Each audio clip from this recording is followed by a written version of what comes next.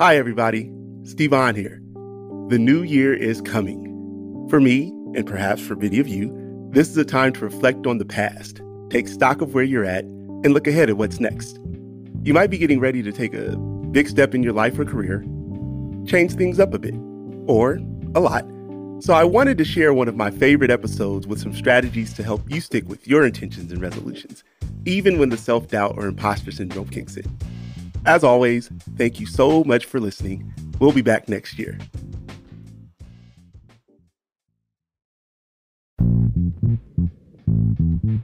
What's up, everybody?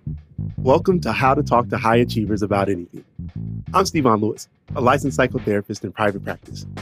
On this show, we share stories of people who are striving for something big, especially Black and Brown folks.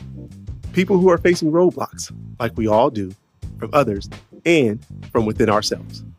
I offer feedback and strategies so that together we'll figure out how to achieve on our own terms. Today, we welcome Takara. Takara decided to make a bold career change and finally made her move.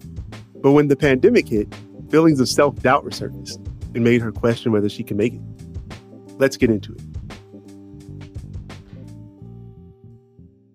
I am Takara Joseph, and I am an Emmy nominated producer and director living in Los Angeles. Currently, I am producing full time on a uh, freelance basis. Um, I'm also kind of on the fence of currently considering pursuing corporate employment, trying to weigh the perks or the pros and cons of working in the corporate production environment versus kind of having a little bit more freedom in the freelance capacity. I, for many years, knew I wanted to be in film, and my parents, being Caribbean, were like, pick the safe choice. So in undergrad, I got my degree in public relations um, and communications, and I minored in film one day in Atlanta, I just thought, why am I still here? Why am I playing it safe? Like, I really need to move on. And so that was my catalyst to moving to LA. I'm essentially starting over. I have an MBA, I've worked this ladder, I'm director at a company, and now I'm going to say, hey, I'm going to go produce things on set and have no experience in that. So I'm basically going back to zeros. My last day there was the first week of March of 2020. And then the following week, the country shut down or the world shut down for the pandemic. I think the longer the duration of the lockdown kept going and the severity of it, there were for sure doubts of like, girl, are you crazy? did you, why did you leave this?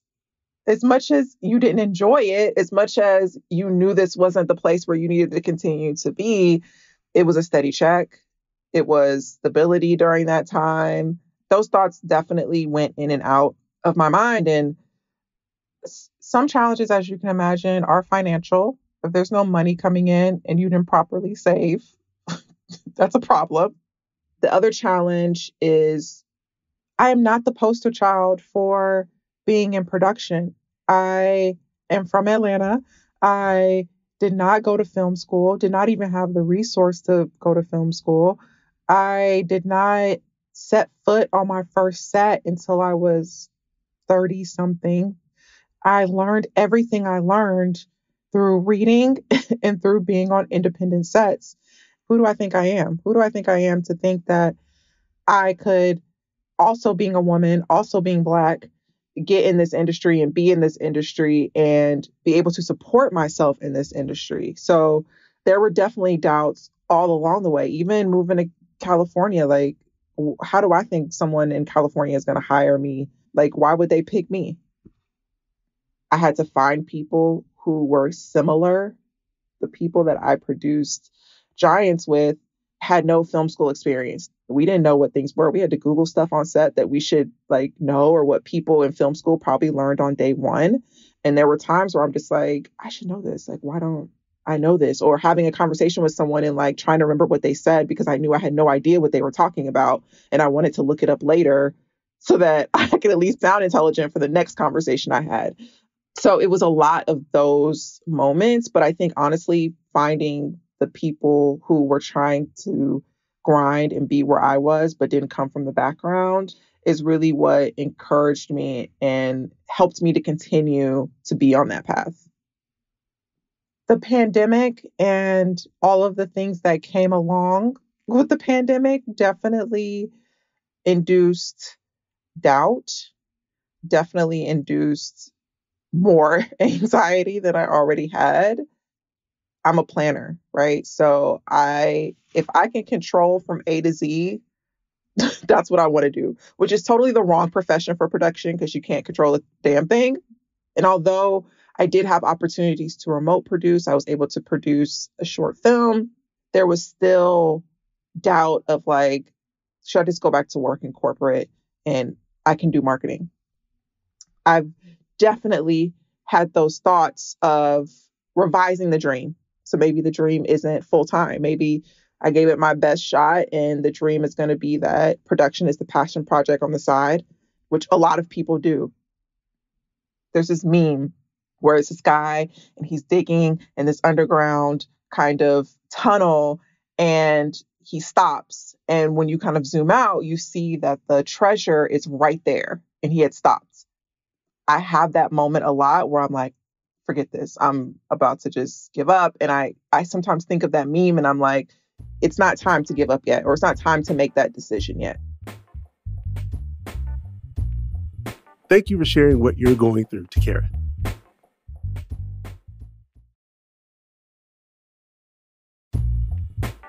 Takara's story is really, really indicative of what I hear from a lot of high achieving folks. She's found success in one area of her life.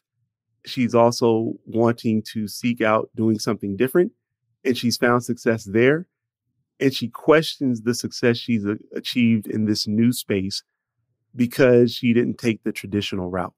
She didn't go to film school and she's done some good work in film so i don't know that having gone to film school was a prerequisite necessary for her to be able to be successful in this space but because she doesn't have it she's questioning whether or not she belongs in this area.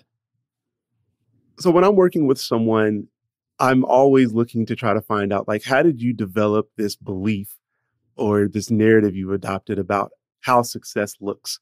We all have a definition of success that we operate off of. I have one, Takara has one, obviously. Her parents have another. Takara's adopted what her parents' definition of success is. And that is you go to school, you get an education, and then you find a job, you work hard in it, and that's how you'll do well in life. That's one definition. Part of the work I do with individuals, or especially with high achievers, is getting them to understand their definition of success and then recreating or updating it to be more reflective and inclusive of who they are and how they present in the world oftentimes what I'll do is I'll ask them about their current definition. And in there, you'll probably hear some sort of demand that lends itself to suggest that perfection is necessary for them to be successful. And so I ask the question, what is it that you know about you that others don't know? Because the way it is oftentimes is that they are being given opportunities, being elevated, have other people compliment their work and really have confidence in them to be able to accomplish new, bigger, better things. And the individual is living with intense fear about their own ability to live up to those expectations. And so for me, in my head, logically, I can't understand why other people would have such a strong belief in your capability to do something and you as an individual wouldn't have an equal level or more to have the same confidence in yourself to be able to accomplish that same thing the interesting thing is that when I ask that question about what people know about themselves that others don't, I get one of two things. There's like a long pause and they aren't able to think of anything. Or what they do is they tell me about the imperfections they have. And that gives me an opportunity to help them see that what you're saying is that if you have imperfections, this is part of the narrative you're telling yourself. If I am imperfect, then I really don't have the capability to be successful at a high level. And I am chipping away at that belief and getting them to recognize one, you've already been successful. Two, other people that aren't you don't care about your imperfections. It's not swayed them to lose belief or confidence in your ability to go out and do a thing. Maybe your understanding of the role perfection plays in success is a little bit off. There's an interesting kind of, I guess, phenomena that happens when people are shifting or changing direction in their career or in their, I guess, their space of where they're operating. Takara has received or achieved some success in business and corporate America and done really well there, has an MBA, and now she's pivoting. And, you know, she's learning a lot of the stuff on the fly as she's having experiences, I guess, kind of using that, that information to train and teach herself to continue to improve in this area. What people do is that they tell themselves, I'm starting over. And so now I'm behind. And for me, that doesn't really make a ton of sense. It's not a complete start over. The way I think about it is if I'm driving and I'm trying to get to work and my normal route to work is now blocked off because there's some construction happening, I have to make a detour, right? I've got to change directions from the original path that I had set out on. What I don't have to do is go all the way back to my house and start over. And so I think it's important for people who are pivoting. You aren't starting completely over. You aren't going all the way back home. What you're doing is you're taking a bit of a detour, and that's okay. That's still forward progress. And I think Takara, in her situation, she's saying, well, I've got all this MBA stuff and I know how to operate in corporate America and I can be successful there. And I feel confident and safe because I've done it. And in film, not so much. And I'm saying, well, the same stuff that made you successful there, why wouldn't those same tools and abilities and knowledge, why wouldn't that also be helpful in this new space for you to be successful there. She's resilient, she is adaptable, and she's intelligent. And I think that she doesn't recognize the value that those have in overall success. So if you're listening to this podcast, one thing I would love for you to take away is that self doubt is not a bad thing. I think that there's some appropriateness to us questioning our abilities when we are starting something new what I try to teach the people I work with about these concepts like self doubt or confidence is that it's on more of a spectrum. It's not uh, I have it or I don't. It's how much of it do I have? And do I have an appropriate amount considering where I am in the process? if I'm a novice and I'm very new to a space, how confident should I be about my ability to be able to perform and do really well? Should I be at 100 or should I maybe be at like 80? Because we don't have 100, and again, high achievers, that perfectionism, then it feels like they don't know anything. There's some benefit to having a little bit of, of doubt because we are aware that we don't know everything.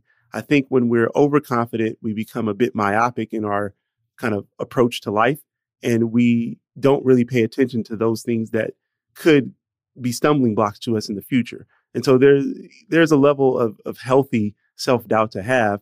And also, we should have some confidence along with the self doubt to say that I've not known things before and I've had to learn them and I've been able to do okay. If that weren't true, then we'd probably all still be crawling around on our hands and knees, never having learned to walk. And so, since some of us are walking around, if we have that capability, then it suggests that we have the ability to learn and improve and grow. And that's a wrap. Thank you so much for listening to How to Talk to High Achievers About Anything. We have really big plans for our show, and we want you to be a part of it.